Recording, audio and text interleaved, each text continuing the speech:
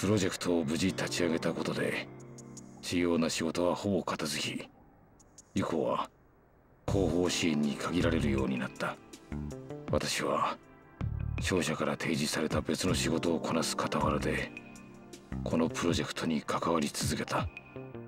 前日したロシア系アメリカ人夫妻とは月に1回程度連絡を取り合い半年に一度はプロジェクトの進行状況と今後の方針について協議するために会合を持った。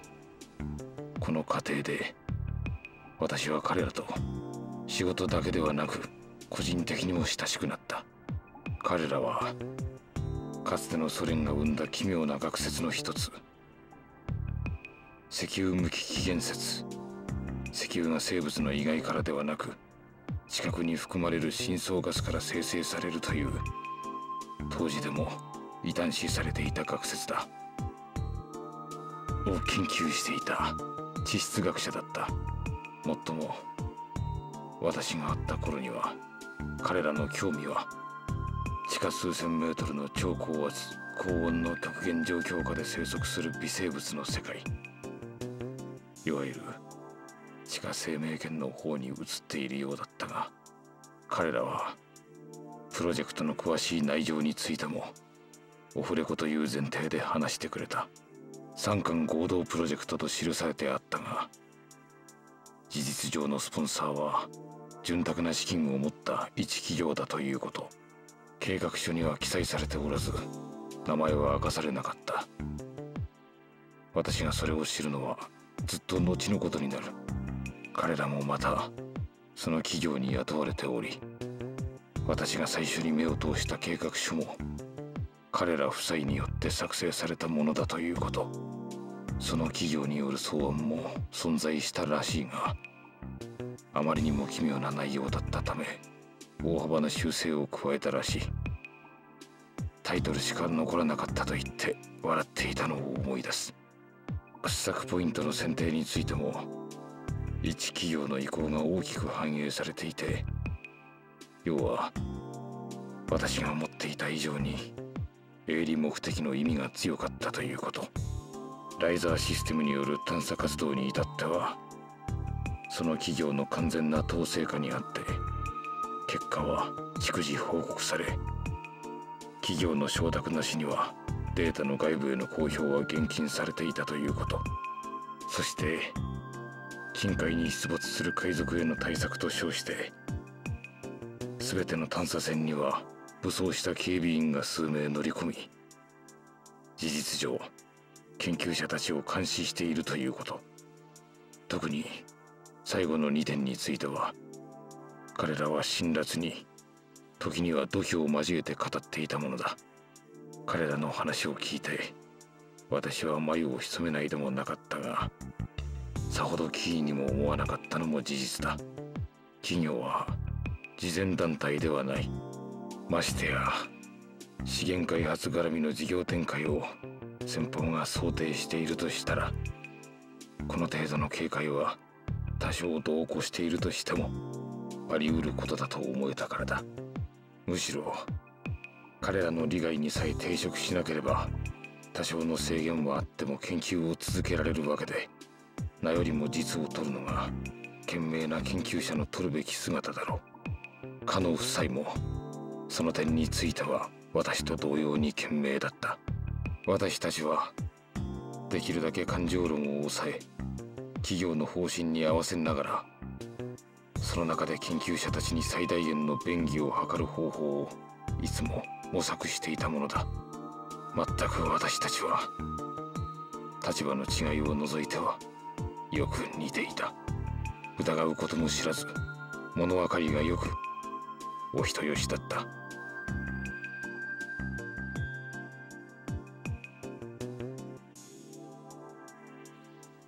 こうしてプロジェクト開始からちょうど2年が過ぎた。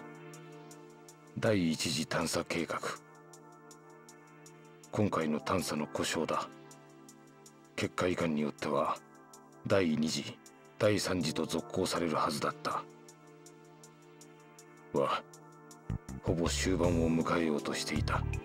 この2年の間にプロジェクトの方針をめぐってつまりデータの独占と徹底した秘密主義を貫こうとする企業側とあくまで外部への情報公開を要求する研究者側で小さな衝突が幾度か起こっていた。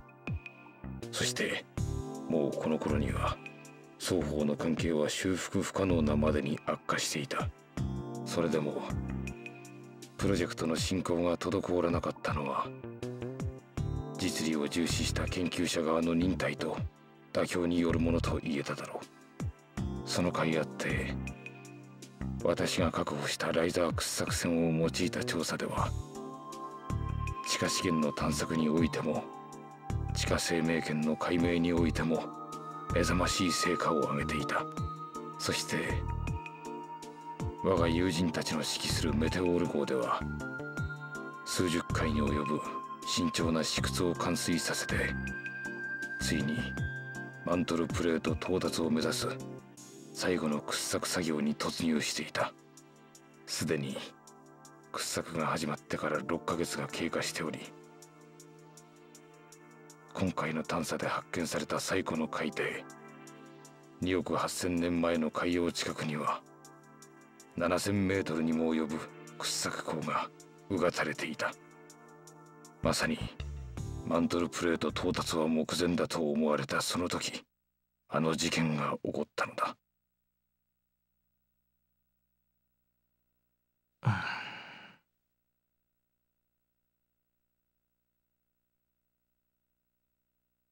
そうだな。もう一度調べてみるか。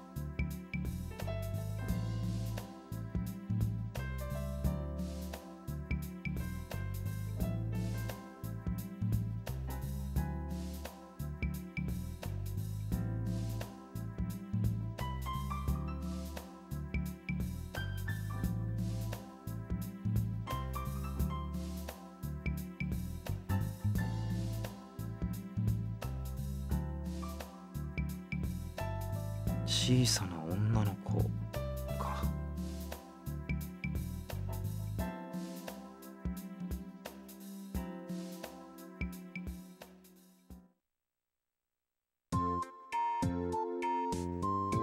おかえりなさい。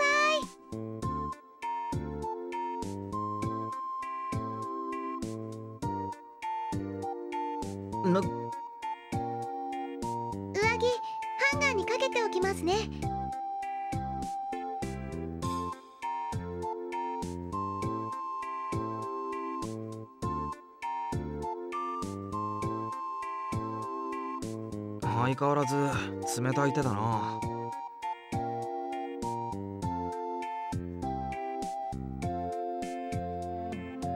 ジジイどもには相談したのか？はい手が冷たいことはいいことだって。えっと確か手が温かいのは心が冷たい証拠で手が冷たいのは心が温かい証拠だって。だからっとも心配しなくていいって。そんなこと言ってたのか。やつめ。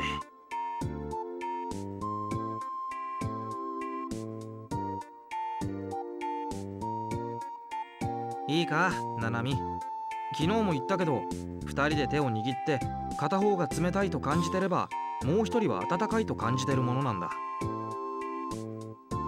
ジジイの言葉に従えば俺にとってナナミは心が温かいやつってことになるけどナナミにとって俺は心が冷たいやつってことになるんじゃないのか？あそういえば宗一さんの手は温かいから。だろ？じゃあ手の温かい人もきっと心が温かいんですよ。だったらこの世界は心の温かい人ばかりってことになるな。きっとそうです。わかったわかった。きっとそうなんだろうな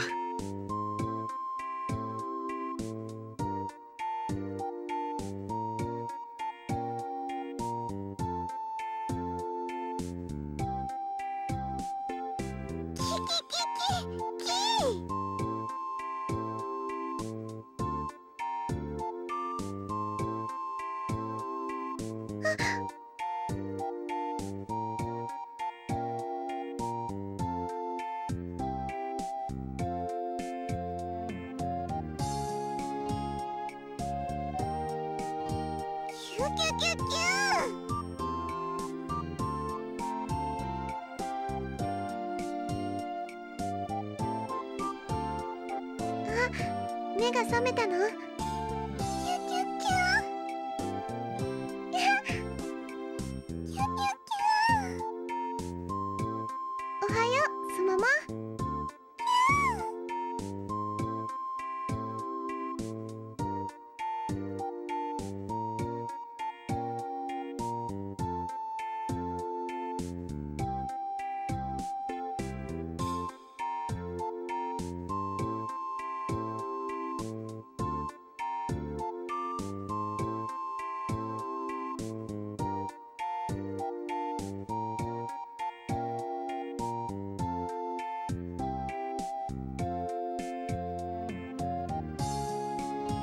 やあおはよう。それともこんばんはかな？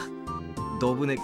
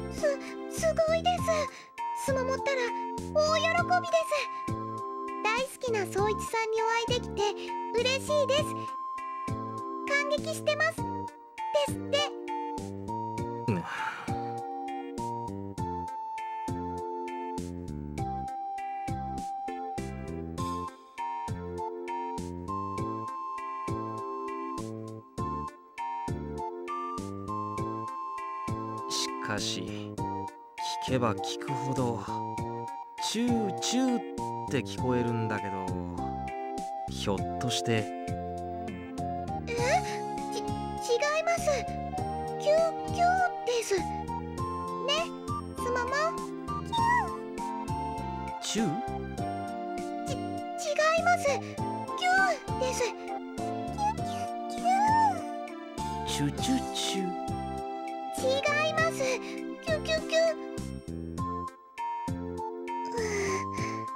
ュやっぱりこのような誤解が生まれるのはちょっと汚れてるせいかもしれないな。じゃあ洗濯機で洗ってきますね。そうだな。ウール用の手洗いコースで。脱水は多めにかけてみるといいかもな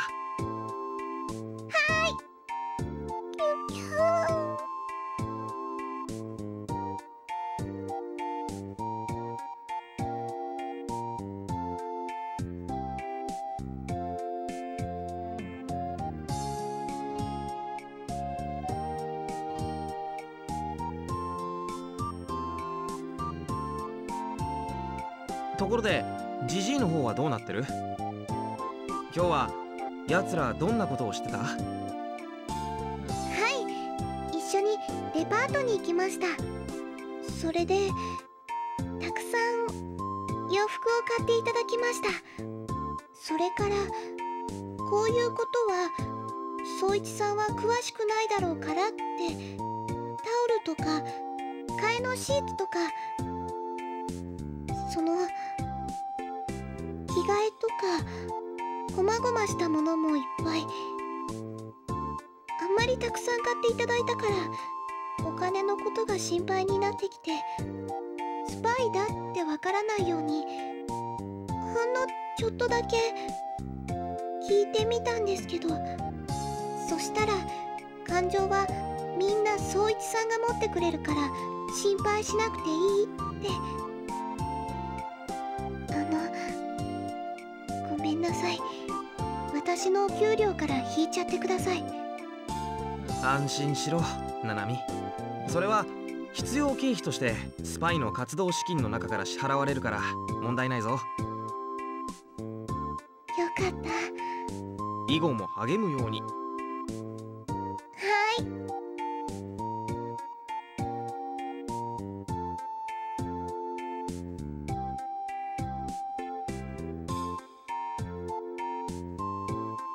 それからレストランでお食事をしてここに帰ってきてそれからもういいぞナナミそれで十分だ。でももちろんこれからもずっとスパイ活動は続けてもらうが奴がとんでもなくヤバいやつだって証拠をつかむまでは報告する必要はないからなだって毎日報告してれば誰かに話を聞かれて正体がバレないとも限らないだろう。一流のスパイはそんなドジを踏まないものなんだ。そうなんですか。そういうものだ。でも報告する必要がなくったってサボっていいわけじゃないからな。奴らとずっと仲良くやってしっかりと溶け込むんだぞ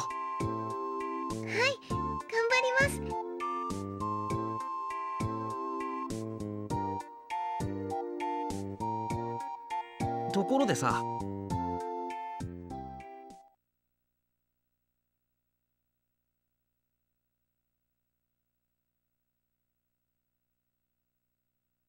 ナナミは前の店で働いていた時に和田って人と知り合わなかったかな。1年くらい前まであの店の常連だったんだけど。和田さんですか？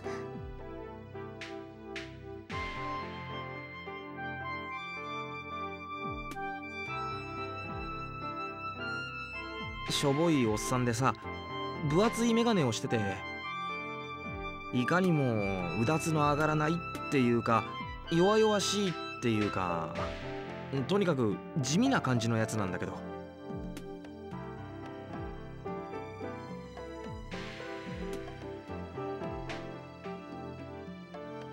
ええっと。じゃあ1年くらい前のちょうど今頃なんだけどちょっとした事件だとか騒ぎとかなかったかな。1年前の今頃ですか？あそういえばお店に怖い顔した人がたくさんやってきて危ないから23日部屋の外に出ちゃダメだって言われたことがありました。えっと確か常連のお客さんが借金をたくさん残したまま急にいなくなってしまったとかで取り立て屋さんが押しかけてたんだって。後で店長さんが説明してくれましたけど。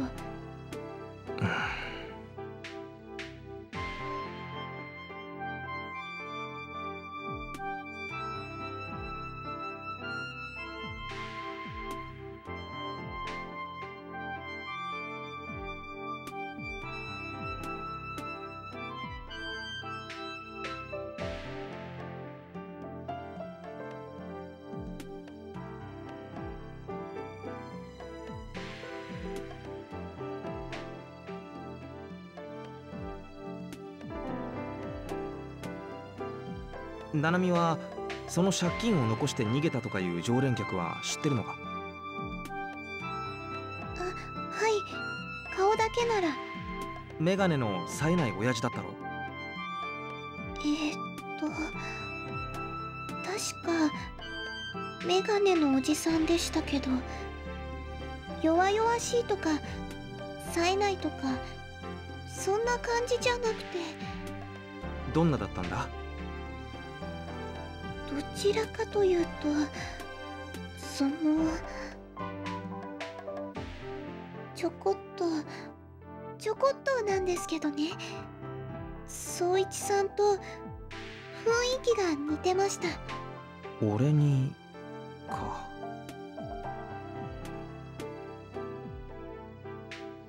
そうです。思い出しました。ちょうどその人がいなくなった夜私も会ってました。いつもみたいに裏でお菓子を食べていたら裏口のドアが開いてあの人が出てきたんです。ちょこっと私の頭を撫でてから帰って行かれたんですけど裏口から帰られる方は珍しいのであはいそれで覚えてました。どんな感じだった？ニコニコしてすごく機嫌が良かったです。鼻歌を歌いながら歩いて行かれました。すごく楽しそうでした。そうか。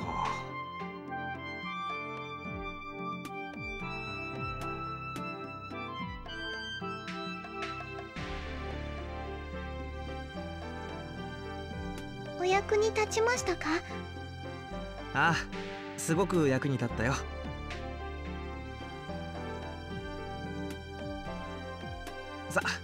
そろそろ寝る時間だろじいさんばあさん相手なんだから早く寝た方がいいぞ。はい。じゃあおやすみなさい。おやすみ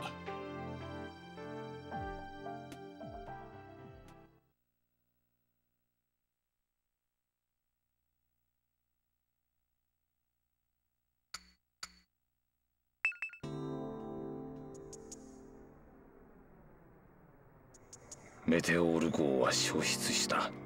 突如として連絡を絶ち文字通り跡形もなく消えたのだ。ちょうどこのプロジェクトの責任者である夫妻が科学財団への定例報告のため船から離れた折に起こった事件だった。だが私は詳しい事情を彼らの口から聞くことはなかった。事件が起こった直後に彼らもまた財団のあったニューヨークで殺されていた。滞在先のホテルに何者かが押し入り銃を乱射したとのことだった。急転する事態は私にも訪れた。急ぎニューヨークへ向かおうとした私は空港で警察に身柄を拘束されそのまま事情聴取を受ける身となった。身に覚えのない背任の容疑で勤めていた商社から告発されていたのだ。拘禁され不毛な取り調べでほとんどの時間を忙殺され弁護士を通してしか外部と連絡が取れない不自由な状況下で一連の事件は私を排除した形で推移し20日間の勾留期間が過ぎて釈放された頃にはすっかり沈静化していた。メテオール号の件は海底油田開発でよくある事故の一つとして掘削作業時の人為的なミスによる転覆事故として処理されていた。船体は近くの海底で見つかっていたものの深度が2000メートルを超えていたためにそれ以上の調査は打ち切られていた。そして地質学者夫妻の殺害の件に至っては麻薬中毒者による犯行と断定され犯人とされた人物は逮捕の際の銃撃戦で射殺されてそれで全ての捜査活動が終了していた。これらの不祥事の責任を取る形で名目上のメインスポンサーであった科学財団はプロジェクトの即時中止とチームの解散を発表した。もちろん私も拘置所から出た時にはすでに商社から解雇されていた。背任の件が私の足止めを目的としていたことは互いに承知していたからそれ以上裁判沙汰になることもなく私は退職扱いとなり銀行口座には退職金としては多額のだが口止め料としては少額の金が振り込まれていた。どちらにしてもこれ以上関わり合うつもりは毛頭なかった。いくら私がお人よしでもこれが単なる偶然で済む事件ではないことは分かっていたからだ。これは明らかに大規模な犯罪だった。そう。手を下したのはこのプロジェクトの真のクライアントだろう。メテオール号の建造すら可能にしプロジェクトを強力に推し進めたその財力をもってすれば船を一隻沈め街中で人間を二人ばかり射殺しそして事件そのものをもみ消すことなど造作もないことだろう。付け加えるなら彼らが築き上げた死体の山に新たに私を仲間入りさせることなどはもっとたやすいことだろう。おそらくデータの占有の件で研究者側と何か決定的な破局が生じたのだ。公表はされていなかったが環太平洋圏の地下資源マップはほとんど完成していたはずだ。例えば大規模な油田や希少金属の交渉が発見されていたとしてそれが公海上だったら問題ないだろうがもしもどこかの国の排他的経済水域上だったとしたらその国が自社と対立していようが友好関係にあろうが情報は徹底的に隠匿したいはずだ。相手国を利さないためにも採掘権交渉を有利に進めるためにもそれは不可欠だろう。多分何か大きな発見を契機にそのデータの公表をめぐって研究者側と対立し結果全員の口を塞ぐことになった。プロジェクトの全貌はメテオール号で把握管理されていたから。この船を乗員ごと葬り去ってしまえば情報の隠匿は可能だ。私の憶測はそんなところだがそれほど外してはいないだろう。そんなことよりさらに不可解なのはプロジェクトの責任者と親しく内情にもある程度通じていた私がまだ生きながらえているということだった。この件については拘置所にいた頃からずっと考えていたが結論は出なかった。要は私はそれなりに賢明な男だとそのように判断を下されて見逃されたのだと自身を無理に納得させることにしていた。そして見えない誰かに私がこれからも賢明であり続けることを証明するためにもこの件にはこれ以上関わらずうつむいて目をそらし固く口を閉ざすことを自らに課したのだった。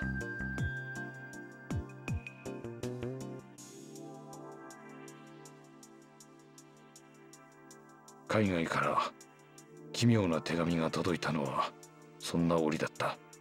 転送サービスをいくつか経由して送られていたそれは地球を何周かした挙句1ヶ月近くかかって日本にたどり着いていた。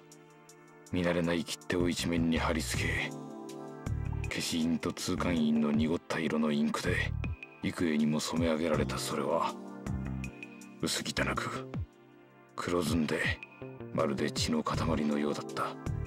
差出人の名前には心当たりがなく明らかに偽名だったがそんなものを見なくても手に取った瞬間から私はそれが夫妻の手によるものであることを直感していた。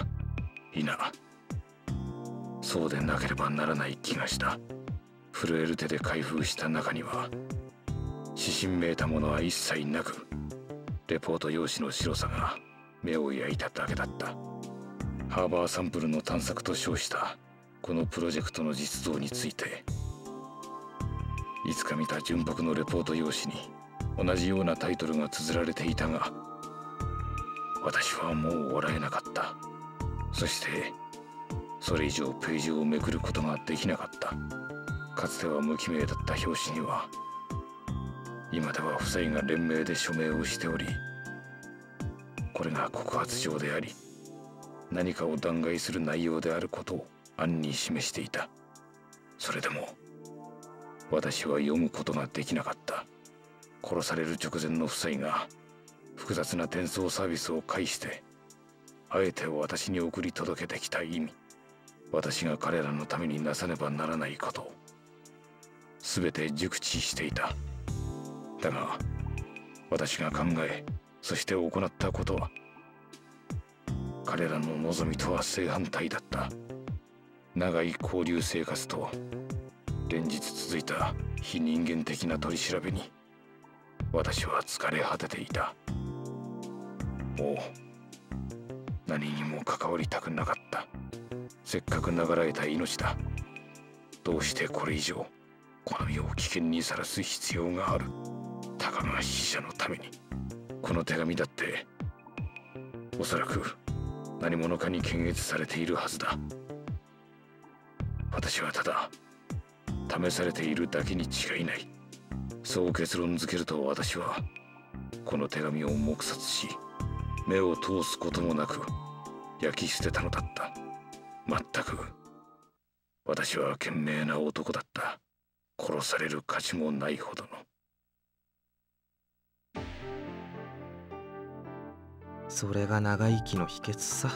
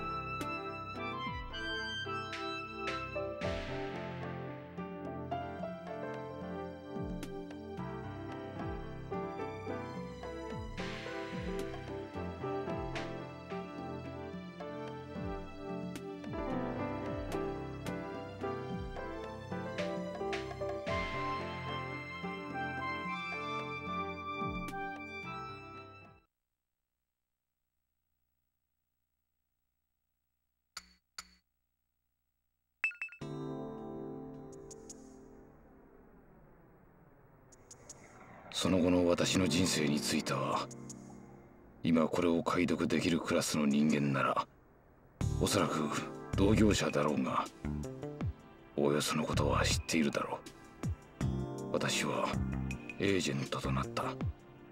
路頭に迷ったとはいえまだ壮年と言える年齢で十分に実績もあり再就職も容易だった私があえてそうなる道を選んだのはどうしてだったのだろうか。昔はあっさりと私を切り捨てた会社とそして堅実な生き方しかしてこなかった自分自身への復讐のつもりだとばかり思っていたがどうやらそれだけではなかったとごく最近になって気づいた。そう。それは必然だったと。声を大にして言えるのが今の私には喜ばしい。エージェントとなってからの私の生活は以前と比べてさほど変わったわけではなかった。私は最底辺のエージェントで小さな頃から特殊な身体訓練を受けた。上級クラスの連中とは根本的に違っていたからだ。年齢から考えても体力的な面から考えても荒っぽい仕事などできるわけもなく私の仕事はデスクワークに限られていた。巷のエージェントが20世紀末の冷戦終焉によって目的を失ったスパイたち。慌てて産業スパイへと収支替えしていった哀れな連中の慣れの果てだというのなら私というエージェントは20世紀末の相場師の慣れの果てだろう。表向きは原油やレアメタルなどの天然資源相場を専門とする CTA の看板を掲げその分野での資金運用を請け負うと業務内容に明記していたものの実際に私が請け負った主な仕事は世界の天然資源市場をクライアント機関投資家やファンドマネージャーやプライベートバンクどれも表立って名前の出せない。いかがわしい連中ばかりだ。の望む期間だけコントロールすることだった。もちろん陶器を目的とする企業体が市場に積極的に介入して自らの都合のいいように操作するのは全盛期から行われていたことでルールにのっとった手段であれば何ら問題はない。だが私をエージェントと知って依頼してくる連中がそんなものを期待しているわけもなく私ももはや紳士ではなかった。私のようなエージェントに期待されている役割はあらゆる非合法手段を使って市場を混乱させること。その混乱に乗じてクライアントを利するように市場をコントロールすることだった。資源の埋蔵量や生産国の正常に関する流言を流布し捏造した政府発表を事前に公表し買収や脅迫でインサイダー情報を入手してはそれに手を加えたものをばらまく。ありていに言えば汚い仕事だった。だが私が経験した現実の汚さに比べれば数字のやり取りだけで完結する。この実態を持たない世界はまだ正常なものに思えたのだ。私は何かから逃げるようにこの仕事に没頭した。私のばらまく偽情報はよく信用された。私が学者畑でどこか素人臭い部分を残していたからだろう。やがて私はかなりの確率で市場をコントロールしクライアントの要求を満たすことのできるエージェントとして広く知られるようになった。そしてついにはある多国籍企業の専属エージェントとして多額の契約金で雇われるまでになった。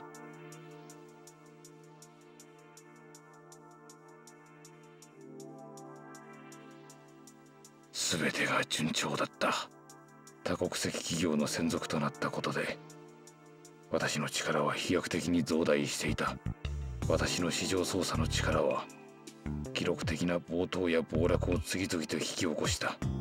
わざと金融不安を煽ってはいくつかの国家を破産させもっとひどい場合にはクーデターや内戦さえ勃発させた。自分のしたことについて特に心は痛まなかった。所詮は数字のやり取りであり絵空事だった。その混乱に乗じて我がクライアントが巨万の利益を上げたことは言うまでもない。そしてその働きに応じて私もまた以前の仕事なら一生見ることもできないような莫大な報酬を得ていた。そう。金も力もあった。全てが順調だったはずなのに私はどこか空虚だった。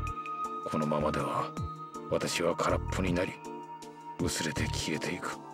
そんな漠然とした不安を感じて眠れない夜をどれほど過ごしたことだろう。私がフリッツ・ハーバーの報われない生涯について考えたのはいつもそんな夜のことだった。どうしてだか。あの寄木細工の小箱を私はまだ5章大事に持っていた。当時のデータは全て処分したにもかかわらずその箱を破棄しなかったのは多分何の意味もないものだと思っていたからだろう。あの子供騙しの小箱を手のひらでもてあそびながら私はうつろな目をして彼について考えそして朝が来るのを静かに待っていたものだ。外に出かけるか。